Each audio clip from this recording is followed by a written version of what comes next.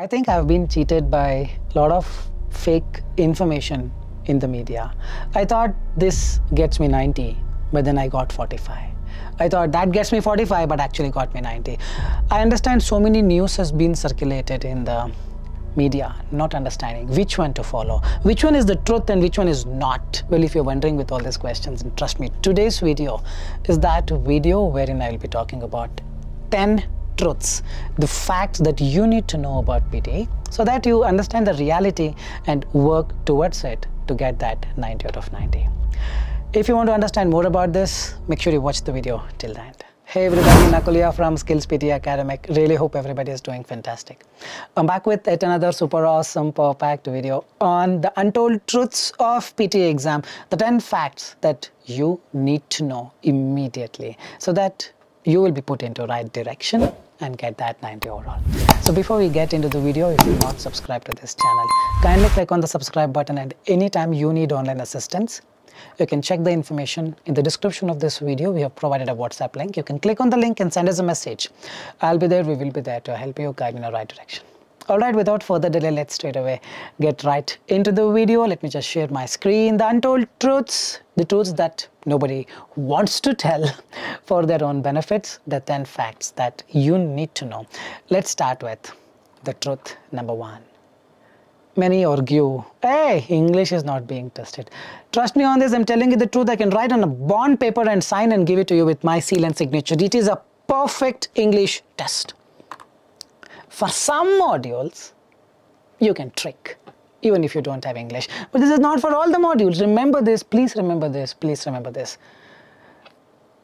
For some modules, you can trick. But what people capitalize on is the thing for some modules, they make it all modules. Isn't it? It's a perfect English test. Only few modules like speaking you may you can trick but still speaking is the one that people actually get low scores essay you can trick summarize written text you can trick. A lecture you can trick. Describe image you can trick. Summarize spoken text you can trick. But all these are very low priority modules. These people don't understand in the very beginning. And some don't even understand after six months of practice into PT all these don't give marks. Remember what decides your fate what decides your scores which modules?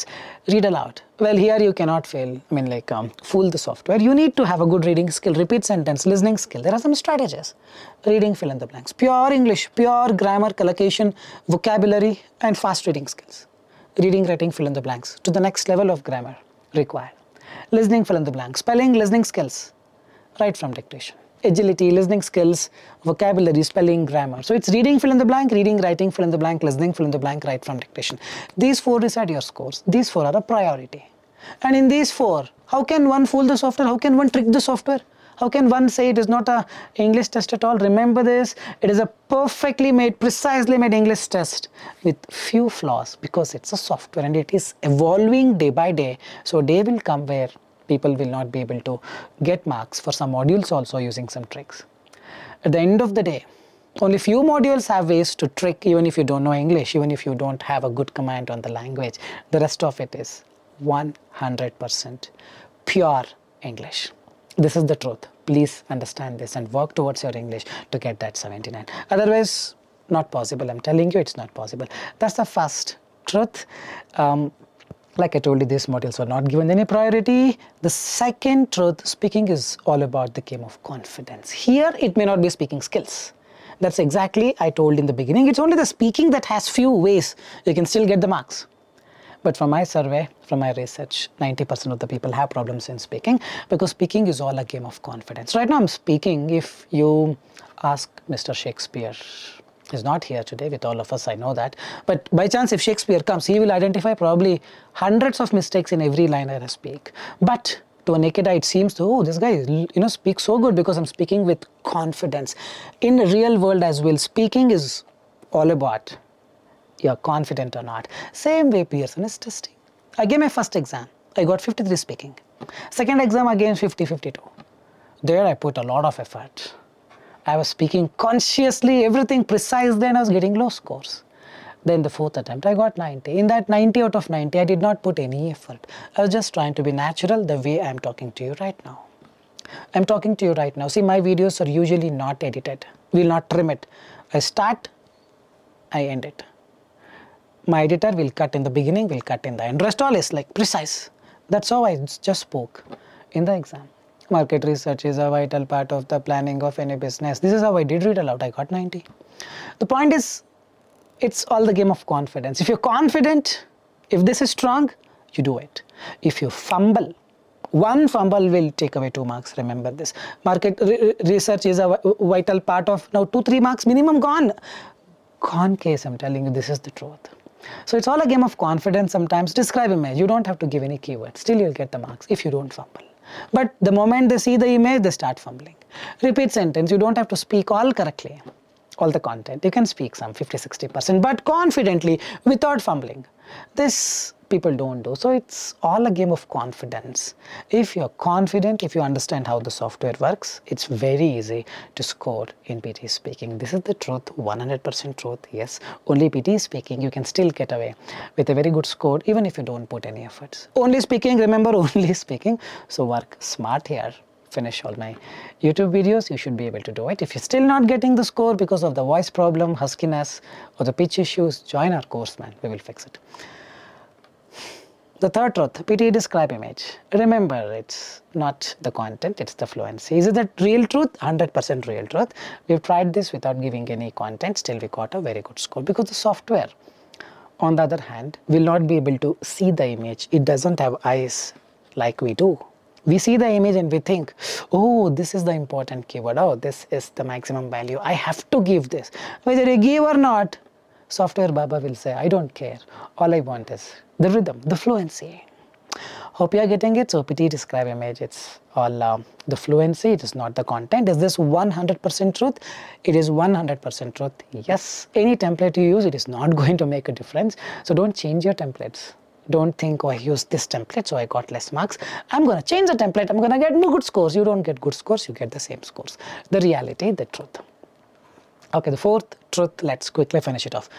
PT versus IELTS both are difficult exams. I've seen people switching to PT thinking, ah, PT is very easy. You can use templates and get marks, it seems. IELTS, it's not possible, it seems. In both, it is not possible. In PT, it looks like it is easy. It is 100% difficult. But the real truth here is, both are difficult exams. If you still want me to rate which one is more difficult, then I would say IELTS is more difficult.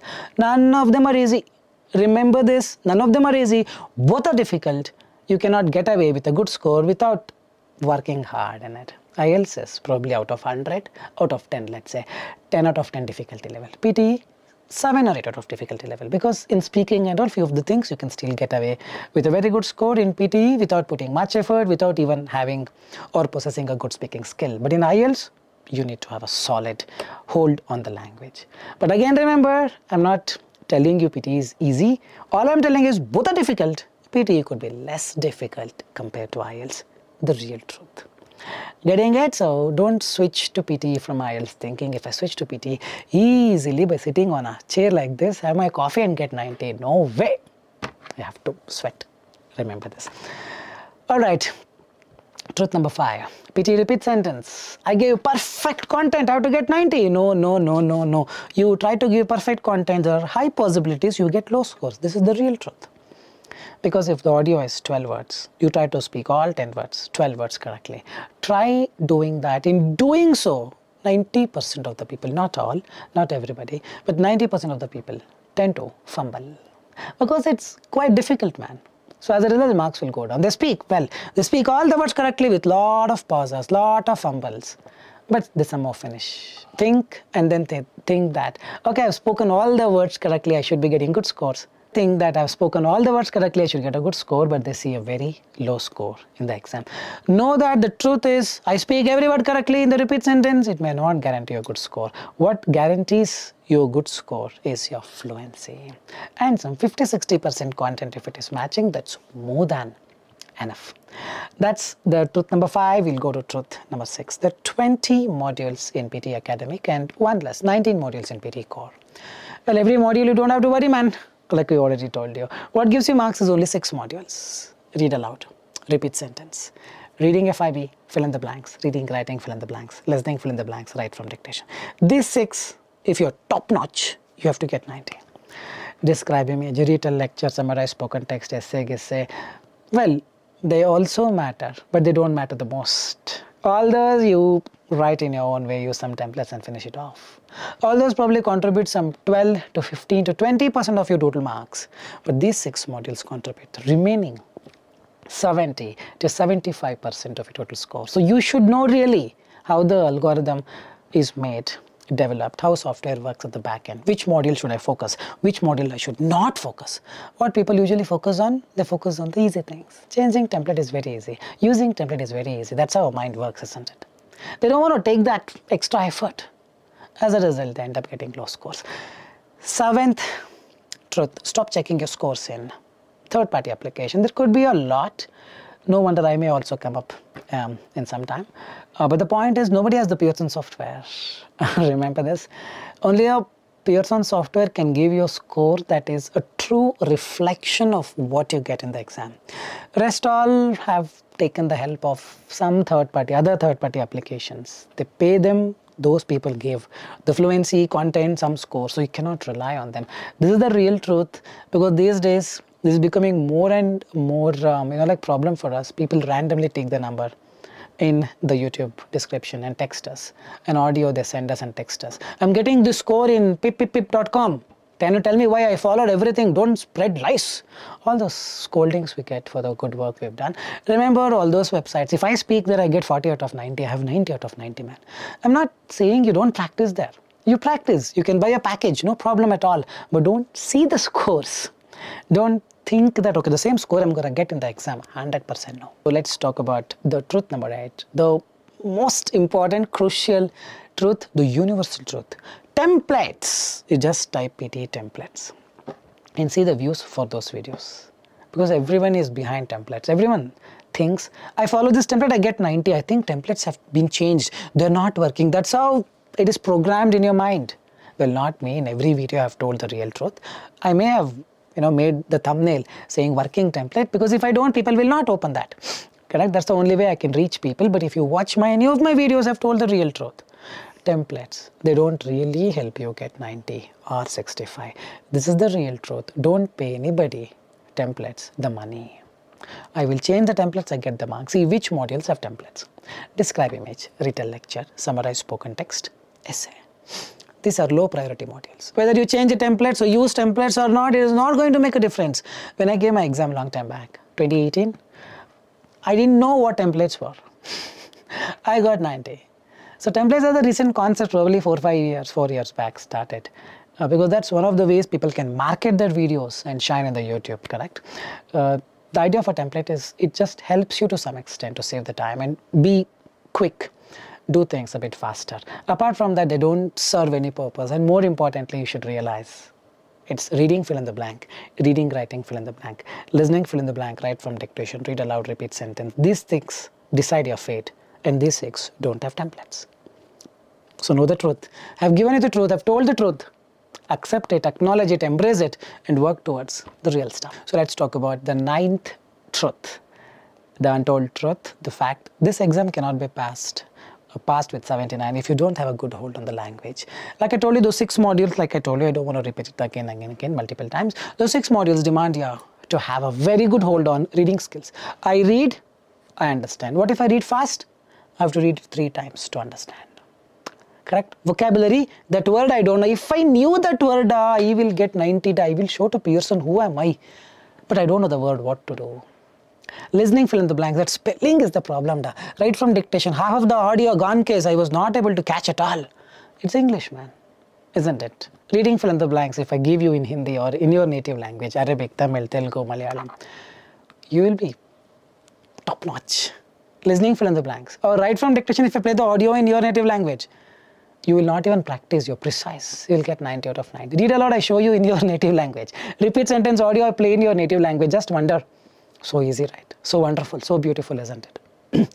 but the real problem is you're so good at your language, but you're not good at English. You become good at English, you get 79. Just with tips and tricks, I will get 79. Whole year gone, next year gone, three years, five years gone, you will not get 79. So don't waste your time. Grab a book, a novel, a newspaper. Start reading things every day, one hour, two hour. Do some five, six spelling tests. Download some spelling apps. Listen to a podcast every day watch a movie English movie, watch a TV series English without subtitles. The skills will enhance. Once skills develop, along with you practicing, together you get that 90. Real truth, man. Just changing template, changing coaching center will not do much of the growth, it will do more of the damage. All right. The last uh, truth, it's an integrated exam.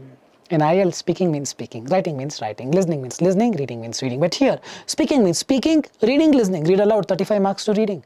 Repeat sentence, 35 marks to listening and speaking both. Correct written lecture, some 10 marks, 6 to 8 to 10 marks to speaking and listening. Reading, in the reading module, reading fill in the blanks contributes marks to reading, but reading, writing fill in the blanks contributes marks to reading and writing both. Correct? Listening, listening section, entire listening section contributes marks to listening and writing. And there are modules in listening that contributes marks to reading also. So things are different here. If you're completely new to PT and don't want to invest much of your time into seeking the real truth, debunking myths, and you know landing up in a big pet, um, if you think you're going in the wrong direction, then join us. We will help you understand the real stuff. This exam can be definitely passed. Well, you need to put effort, but you need to put the efforts rightly. Well, I've made a small attempt here in this video to spread the truth, to help you realize the truth. Well, if you believe that these truths are the real truths, then do share it with someone whom it can actually help. I think that's all from this video. Really hope this video made sense. If you really like the video, like, share and subscribe and leave your valuable comments in the comment section. This is Nakul N-A-K-U-L Nakul signing off from Skills PT Academic. Soon we'll be back. Till then, take care. Bye-bye. Thanks much for watching. Keep following us.